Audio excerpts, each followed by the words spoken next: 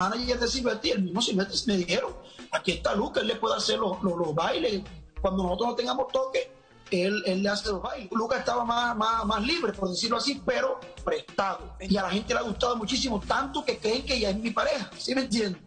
Entonces, yo quisiera aprovecharme de eso, Rochi May, para que si se dan las cosas, bendito sea Dios, sería bueno porque llevamos como medio pasito adelante con la gente, ¿sí me entiendes? Para, para que se den cuenta que todavía no estamos en una unión como lo están afirmando por muchas partes.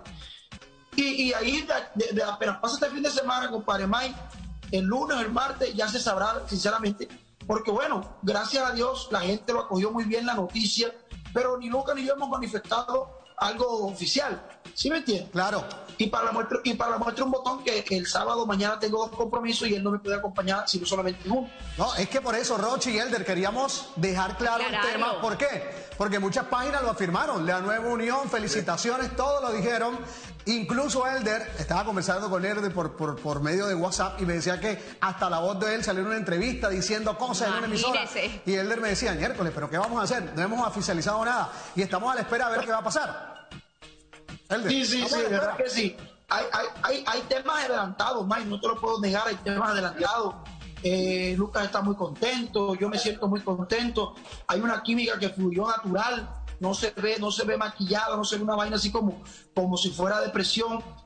Para, la, para mí y para, para el gusto de la gente, después de que se anunció la noticia, sería, un, sería un, un, una, buena, una buena apuesta para, para el folclore en estos momentos. Diría yo que seríamos una cara fresca del, del folclore en estos momentos, unión del de Lucas Dangón. Bueno, ¿y qué dice Dangón? Porque Dangón colocó un, un, Twitter que decía, me gusta un negrito. Bueno, y todos hablan de que era un acordeonero por ahí, que, que ya estaba pensando. Y a la bueno. gente especula bastante. La gente en redes sociales no. se vuelve loca.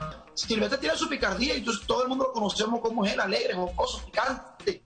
Eh, era al ver, yo me imagino, yo también me pondría incómodo al ver tanto revuelo en las redes sociales con el compañero de uno y él salió con algo.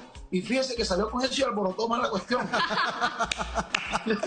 bueno, listo, Elder. Aclarado el asunto. Esperemos próximos días qué va a pasar con Elder Dayan. Si va Lucas, si no va Lucas, seguramente lo vamos a tener también y será noticia en redes sociales. Elder, pero de antemano, eh, lo que pase, éxitos y nos alegran las canciones que están sonando en radio, las canciones que están sonando en toda Colombia con tu agrupación y que sigas trabajando y cosechando más éxitos.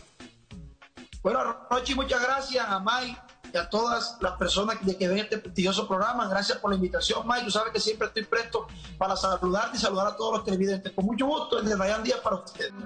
Y como nací solo, y como nací solo en la soledad, encuentro mi refugio. Porque tratas de engañar amor que yo te dé porque no me beses más, Y si de mí ya te alejaste, ¿yo qué puedo hacer?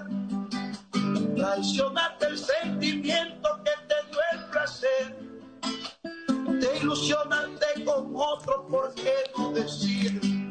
Y más vale un mal conocido que por conocer. Conseguiste el destino que querías tener pero esas son experiencias que viví de ti. Hoy es viernes y con esa canción es peligro. Oiga.